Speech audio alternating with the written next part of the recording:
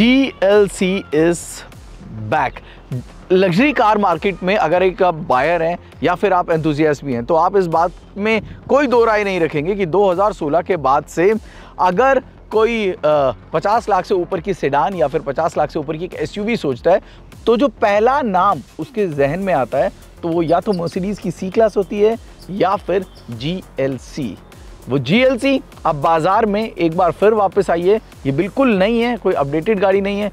एक proper new car है, जो कि मार्केट में दस्तक दे चुकी है। इसके कंपटीशन में जो गाड़ी मौजूद है, जो मेनली थोड़ा कंपटीशन देती है, वो है बी की एक्स थ्री इसके अलावा ऑडी की Q5 को आप कंपटीशन में रखते हैं। और वॉल्वो के बारे में मैं कुछ बात नहीं करना चाहूँगा, क्योंकि वॉल्वो ही शायद जानता है कि वो इंडियन मार्केट को किस तरह से ले रहा है, क्योंकि पहले हम उस गाड़ी को एक्सक्लूसिव कहते थे अब तो दिखनी ही बंद हो गई है। सो वॉल्वो का अलग रखते हैं, लेकिन ऑडी या बीएमडब्ल्यू के ये दो मेन कंपटीशन है। यानी कि जो मर्सिडीज़ ने एक बहुत बड़ा गैप ले लिया ना बाकियों से वॉल्यूम्स के लिहाज से, ये उस वॉल्यूम्स को या उस गैप को और बढ़ा सकता है। क्यों?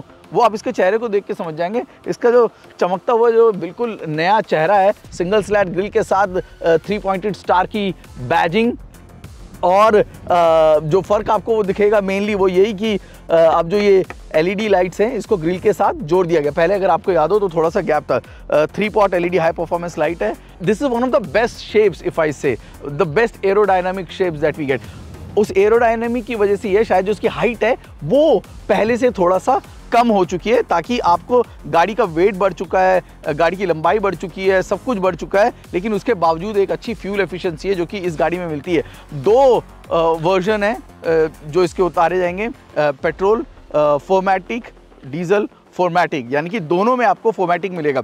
On road why people love this G L C so much from start to the end everything ना इज़ जस्ट लविंग और वो जो रियर क्वार्टर पर आकर जो आपको थ्री इफ़ेक्ट मिलता है और वो जो ब्यूटीफुल कर्व्स दिए गए हैं वो इस गाड़ी को uh, जब पास ऑन भी हो जाती ना तो मुड़ने पर मजबूर करती है। In total this is a fantastic design package that you get but the most important thing as I said कि इसकी लंबाई बढ़ चुकी है इसका व्हील बेस बढ़ चुका है और उसका सबसे बड़ा फ़ायदा कहाँ दिखेगा? यहाँ। अंदर तो आपको फ़ायदा ही है। यहाँ पर देखिए कितना फ़ायदा है। 600 लीटर का बूट स्पेस है। जो कि आपको इसमें मिलने वाला है। अगर आप इसकी सेकंड रो को फोल्ड नहीं करते अगर सेकंड रो को आप फोल्ड करते हैं तो तो आप पूरा अपना घर भी शिफ्ट करने की सोचेंगे ना तो सारा सामान इसमें डाल सकते हैं। So that's the best part about this G L C so anything and everything we are talking about हर चीज़ में आपको इम्प्रूवमेंट दिखेगी। उस इम्प्रूवमेंट के साथ इस बात को ध्यान रखिएगा कि प्राइस भी जो है वो बढ़ चुका है। अब इसकी कीमत हम अंदाज़ा लगा रहे हैं कि बासठ लाख से करीब इसकी कीमत जो है वो शुरू होगी। एक अच्छा खासा अमाउंट है जो कि आपको इसके लिए पे करना पड़ेगा। यानी ऑन रोड इसका जो टॉप वेरिएंट है डीजल अगर मैं कहूँ तो वो करीब वन सीआर के आसपास होने वाला है। This is not just a chauffeur driven car this is a car that a person buying will love to drive also. And that's what we are going to do. Let's check out Humpy and this lovely, beautiful GLC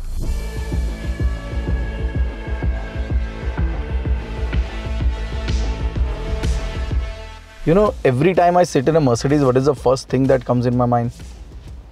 Rather, the first word premium. And the next one is sophisticated that is the reason वो जो gap है ना वो बाकी manufacturers के साथ luxury segment में बढ़ता जा रहा है क्योंकि यहाँ पर क्वालिटी के साथ ज़रा सा भी कहीं पे समझौता आपको नहीं मिलेगा।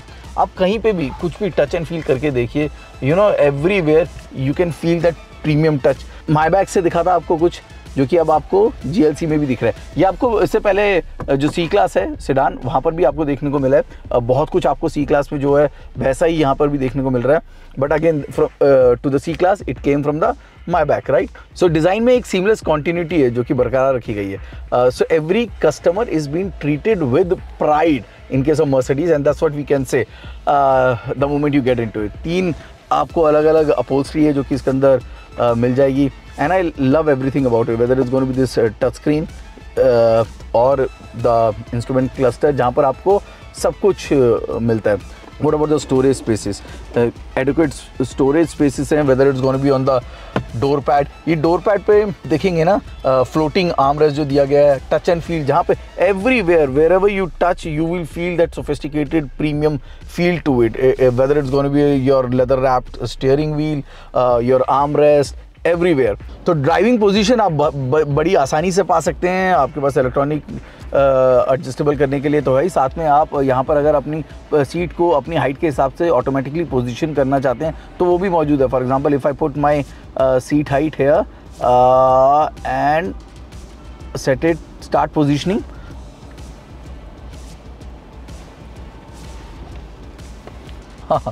that's that's quite a lot ये पैनारोमिक सनरूफ जो है, वो भी बेहद खूबसूरत है, बहुत ही अच्छा है और उम्दा है। इसके अलावा ना, गाड़ी का मैंने जैसे कहा ना कि आप घंटों चाहे इस गाड़ी में बिठा लीजिए, आपको कोई टेंशन नहीं होने वाली है।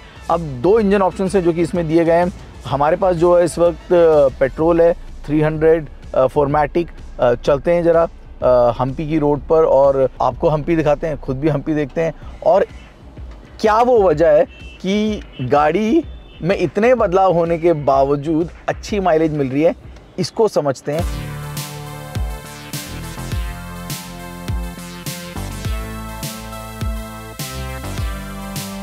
मैंने टीम मर्सिडीज़ का पहले तो शुक्रिया अदा करना चाहूँगा कि उन्होंने ना इस बार जो मीडिया ड्राइव रखी थी ऐसी जगह पर रखी थी जहाँ पर हम इस जीएलसी को काफ़ी समय तक आराम से टेस्ट कर पाए।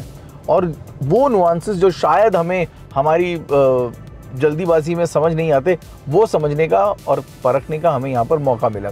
वी और नो कि इस जीएलसी में जितनी भी आउटगोइंग जीएलसी की अच्छी बातें थी, उनको और बेहतर बनाया गया एक्सटीरियर इंटीरियर सब में कुछ वेरी वेलकम एडिशन हैं जो कि आपको देखने को मिलेंगे। राइड एंड हैंडलिंग या फिर ड्राइविंग डायनामिक्स के मामले में क्या, जिस तरह के एडिशन इंटीरियर और एक्सटीरियर में देखने को मिले हैं। 255 हॉर्स पावर है, जो कि ये गाड़ी जनरेट करती है और एक अड़तालीस वॉट का एक हाइब्रिड सिस्टम भी है जो कि साथ में इसके दिया गया है। अब क्या है इसके फ़ायदे, क्या है इसके नुकसान?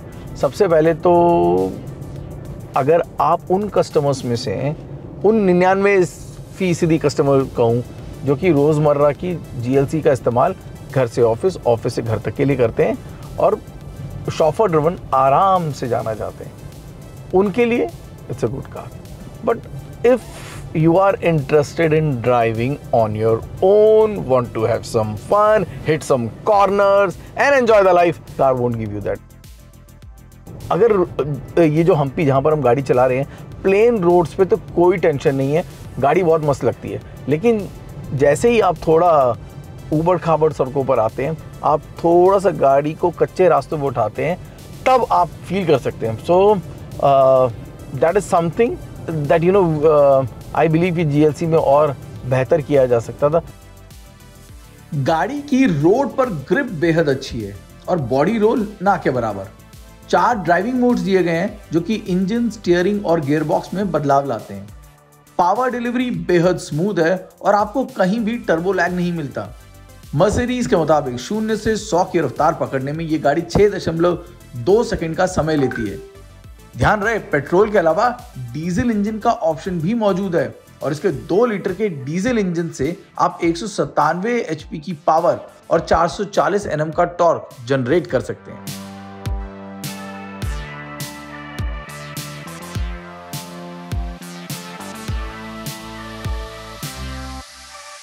I love its road presence. Uh, I love the comfort. I love the MBUX. I love everything about the car.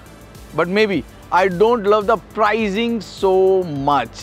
Uh, कीमत एक ऐसी चीज़ है जो कि पर इस सेगमेंट में ना कीमत से बड़ी अछूती भी रहती है। ये गाड़ी भी आपको वही कुछ ऐसा देखने को मिलेगा। हाँ कीमत को छोड़ दिया जाए तो this is one of the best well rounded package that is out in this particular segment कोई भी कमी निकालना बहुत मुश्किल है। Uh, अगर आप गाड़ियों से प्यार करते हैं एक लग्जरी गाड़ी लेने का सोच रहे हैं आपका बजट फिट है तो congratulations, uh, the new GLC is in the market.